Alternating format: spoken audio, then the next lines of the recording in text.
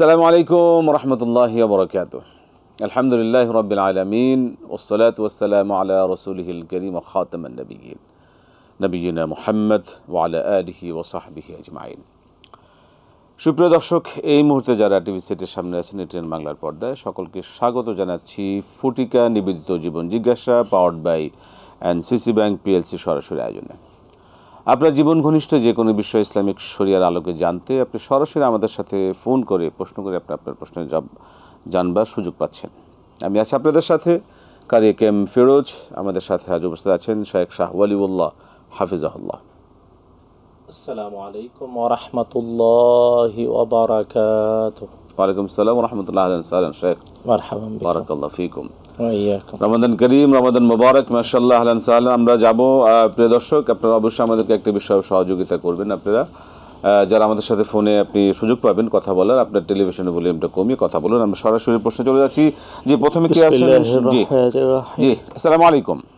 ওয়ালাইকুম আসসালাম ওয়া রাহমাতুল্লাহি ওয়া বারাকাতুহু। হুজুর ভালো আছেন? জি আলহামদুলিল্লাহ রবিল সাহেব বলুন কি প্রশ্ন আপনার? আমার দুইটা প্রশ্ন। এক নাম্বার প্রশ্ন হচ্ছে আমরা তারাবির সালাত আদায় করি। যারা পিছনে মুসল্লি থাকি দোয়া মাসুরা পড়তেই পারি না। আচ্ছা। হুজুরকে বললাম যে একটু আস্তে করা যায় কিনা। বলতে যে আপনাদের না পড়লেও চলবে। এমতো অবস্থায় সলাতের কোনো ক্ষতি হবে কিনা? দুই নম্বর হচ্ছে সাদাকুল সাদাকাতুল ফিতর। এই সাদাকাতুল ফিতরটা যদিও অগ্রিম জানতেছি সর্বনিম্ন এবং সর্বোচ্চ আছে কিনা আমরা নিম্ন শ্রেণির লোক কতটুকু আদায় করলে আমাদের সাদাকাতুল ফিতর আদায় হবে এবং এখন থেকেই দেওয়া যাবে কিনা? জি আসসালামু আলাইকুম। জি ধন্যবাদ।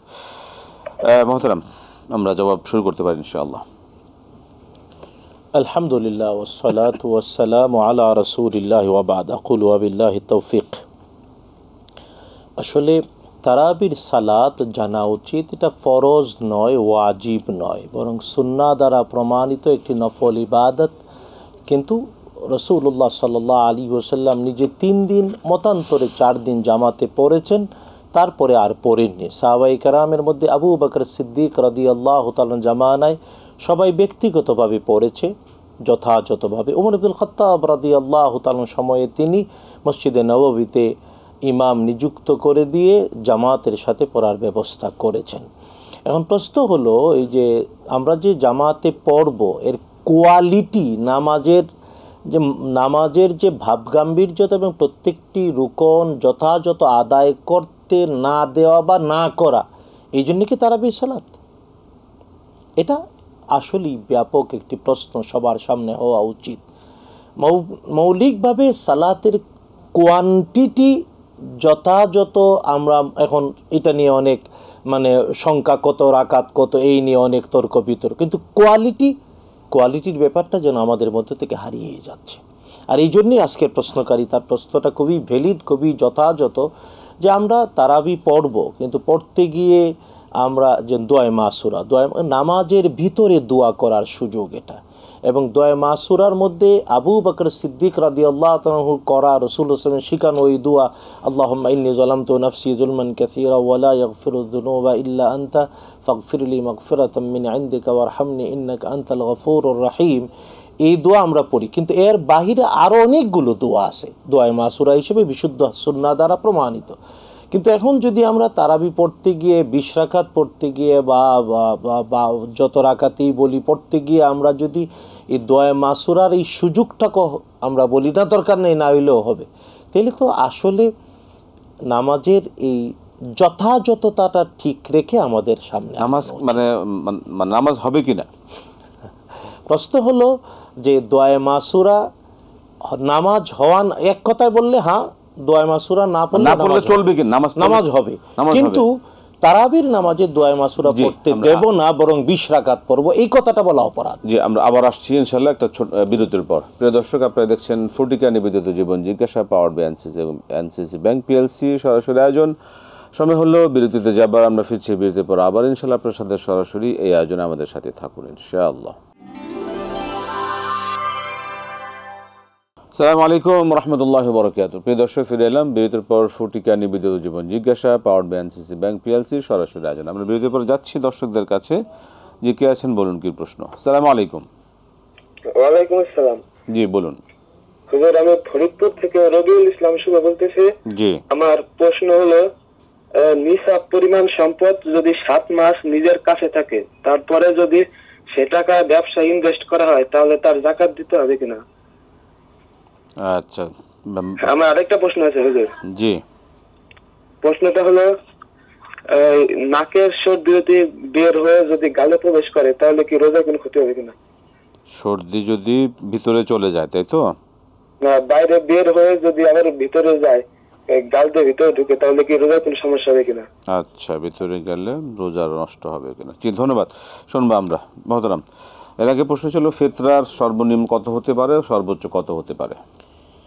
না, ফেতরার ব্যাপারটা রসুল্লাহ সাল্লাহ তালা আলী ওসাল্লাম নির্ধারণ করে দিয়েছেন এবং এটা আমাদের হানাফি স্কুল অফ থট অনুযায়ী, বিশেষ করে আমাদের এই সাবকন্টিনেন্টে অর্ধসা এটা ছিল আমিরে মোয়াবিয়া রাদিয়াল্লাহ তালানুর ইজতেহাদ।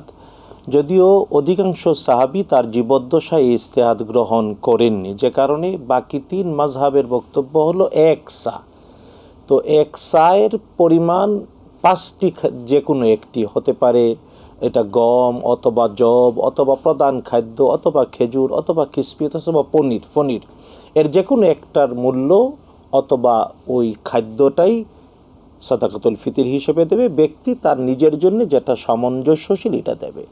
এখন নিম্ন আর উঁচু এটা এইভাবে না বলে বলতে হবে যেহেতু রসুল্লাহ আসলাম পাঁচটি জিনিসকে সাদাকাতুল ফিতিরের জন্য নির্ধারণ করে দিয়েছেন। আমাদের রাষ্ট্রীয়ভাবে তো একটা করা হয় সেটা করা হয় এবং আমাদের রাষ্ট্রীয়ভাবে এটা ঘোষণা হবে এখনও হয়নি। আমি আজকে যেটা জানলাম মানে একটা মাধ্যম সেটা হচ্ছে সর্বনিম্ন হচ্ছে একশো পনেরো টাকা না এটা অর্ধ সর্বোচ্চ হচ্ছে দুই হাজার নয়শো সত্তর টাকা। না এটা একেবারে সর্বোচ্চ আর সর্বনিম্ন এই শব্দটা ব্যবহার করা উচিত না।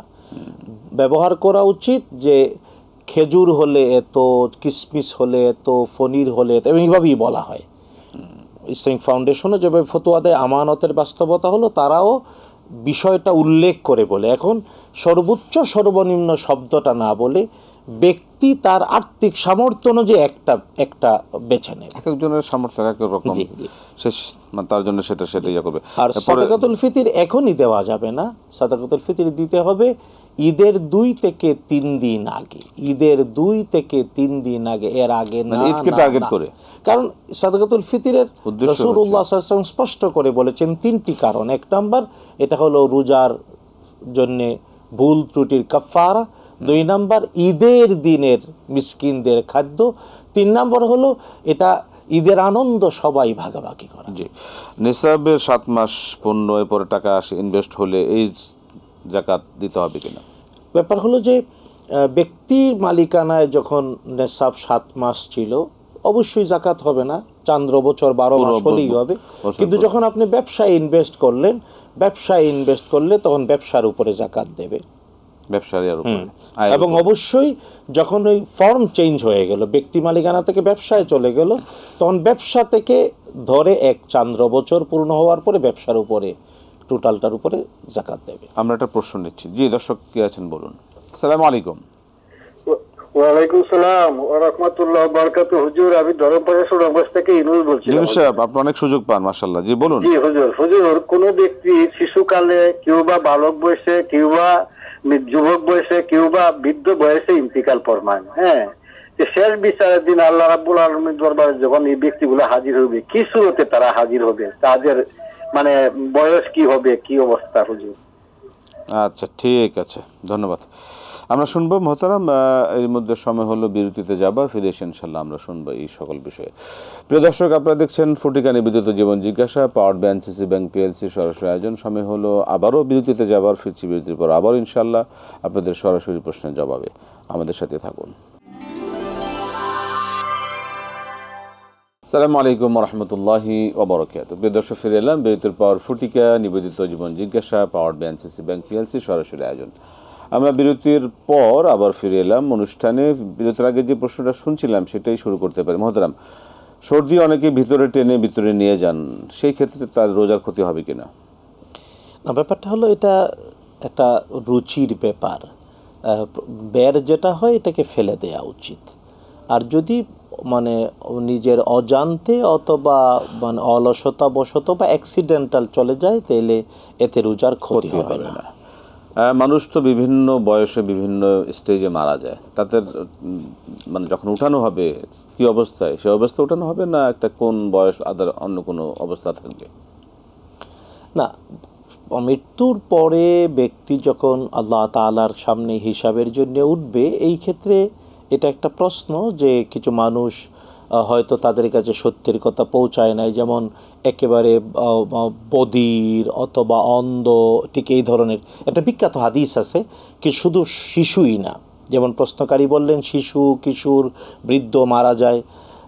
তারা যখন উঠবে তাদের বিচার কীভাবে হবে? বিশেষ করে তার উদ্দেশ্যটাই হলো যে শিশু অথবা যাদের কাছে সত্যের কথা পৌঁছায় নাই তাদের হলে। বিখ্যাত একটা হাদিস রসুল্লাহ সাল্লাহ তালামের সাদ করেছেন কেয়ামতের দিনে যে সকল মানুষ সত্যের দাওয়াত দুনিয়াতে পায়নি অথবা শারীরিক মানে প্রতিবন্ধিতার কারণে। অক্ষমতা বা পরি প্রতিবন্ধিতার কারণে জন্মগত প্রতিবন্ধিতা অথবা শারীরিক প্রতিবন্ধিতার কারণে সত্য তার কাছে পৌঁছানো অথবা গ্রহণ করা তাদের বিচারের জন্য আল্লাহ তাআলা কেয়ামতের দিনে তাদেরকে আদেশ করবেন। ফেরেস্তা পাঠাবেন ফেরেস্তারা বলবে আল্লাহর আদেশ সামনে দেখা যাবে দৃশ্যমান আগুন। ফেরেস্তারা বলবে আল্লাহর আদেশ এখানে প্রবেশ করো। যারা আল্লাহর আদেশ শুনে দৃশ্যমান প্রজ্বলিত আগুন দেখা যাবে এর মধ্যে প্রবেশ করবে আসলে ভিতরে হবে জান্নাত। অপরদিকে যারা ঢুকবে না তাদের তো স্পষ্ট তারা আল্লাহর আদেশ মানে নাই তাদেরকে সত্যি জাহান্নামে নিক্ষেপ করা হবে। আর যারা আল্লাহ তালার আদেশ জেনে সামনে আগুন সত্যেও ঝাঁপিয়ে পড়বে তারা আল্লাহর আদেশ পালনের পরীক্ষায় উত্তীর্ণ হয়ে? জান্নাতে চলে যাবে। বয়সে কি যারা যারা শিশু তারা শিশু অবস্থায় উঠবে। যারা যেমন কেউ পঁচিশ বছরে মারা গেল সে পঁচিশ বছর উঠবে। কেউ আশি বছরে মারা গেল আশি বছরে কি উঠবে? এই বিষয়টা কি? আসলে আসলে প্রথম ব্যাপার হলো দুনিয়ার জীবনে ব্যক্তি যতটুকু বয়সে মারা গেছে কে আমাদের ততটুকু সেই অবস্থা কিন্তু আল্লাহ তাআলা কোরআন আল করিমের সূরাতু আল মুজাম্মিলে স্পষ্ট করে বলেছেন ওই দিনটাকে ভয় করো ইয়াউমাইয়া জালুল উইলদানা শিবা কেয়ামতের দিনটা এত ভয়াবহ যে ওই একদিনের ভয়াবহ বাস্তবতার দুশ্চিন্তায় শিশু বৃদ্ধতে পরিণত হয়ে যাবে। এটা কোরআন আল আমরা একটা প্রশ্ন নিতে পারি। যে দর্শক বলুন। দুঃখিত। জি আমরা পরবর্তী আরেকটা প্রশ্নে যাই। অনেকে আছেন লাইনে কে আছেন পরবর্তী? জি আমরা প্রশ্ন নিচ্ছি। জি। জি জি জি জি। জি আসসালামু আলাইকুম। ওয়ালাইকুম আসসালাম। জি বলুন কি প্রশ্ন? আমি জানতে চাচ্ছি জি। আমি জানতে চাচ্ছি যে আমি কিছু টাকা ব্যবসায় ইনভেস্ট করেছি। হুম। আপনি শেষ করুন কন্টিনিউ করুন। কন্ডিশন হচ্ছে যে তিন আমি যখন টাকাটা চাবো তিন মাস পরে তারা আমাকে আপনি চালিয়ে যান প্রশ্ন চালিয়ে যান সময় শেষ প্রান্তে দেখা হবে? ঠিক আছে যে ধন্যবাদ আমরা প্রশ্ন পেয়েছি। মহতারাম এর কি জায়গা হবে কিনা? না যেভাবে যতটুকু আমরা শুনলাম তিনি তার মালিকানার টাকা তিন মাসের জন্য একটা ব্যবসা ইনভেস্ট করেছেন তিন মাস পরে তারা আবার রিটার্ন করবে। অবশ্যই তারা জাকাত দেবেন। দিতে হবে। মহতারাম আমাদের শেষ করতে হচ্ছে আজকে আপনাকে অসংখ্য ধন্যবাদ। বারাকাল্লাহ ফিকুম জাজাকাল্লাহ খাইর আহসান হায়াকাল্লাহ মাশাআল্লাহ। প্রিয় দর্শক আমাদের আজই আমাদের এর মধ্যে শেষ করতে হবে। যে বিষয়টা হচ্ছে যে তিন মাস কি তার পুরো সময় মানে মানে বিষয়টা ব্যবসা ব্যবসায় তিনি ইনভেস্ট করেছেন তিন মাস পরে আবার রিটার্ন করবে যা শুনলাম। আচ্ছা আচ্ছা। আমরা যদ্দূর শুনেছি। মূল কথা হলো ব্যক্তি তার টাকা ব্যবসায় খাটালে তো জাকাত দিতেই হবে আর নিজের কাছে আছে তাও জাকাত দেবেন। ঠিক আছে। শর্তটা হলো আমরা আমরা আমরা চান্দ্র বছর আমরা শেষ করতে হচ্ছে আজকে আপনাকে অসংখ্য ধন্যবাদ চান্দ্র বছর দর্শক আমাদের সময় শেষ হয়ে গেল। আলহামদুলিল্লাহ আল্লাহ পাক আমাদের কবুল করুন। আজকে শেষ করছি বিদায় নিচ্ছি। আসসালামু আলাইকুম রহমতুল্লাহি ওবরাকাতুহু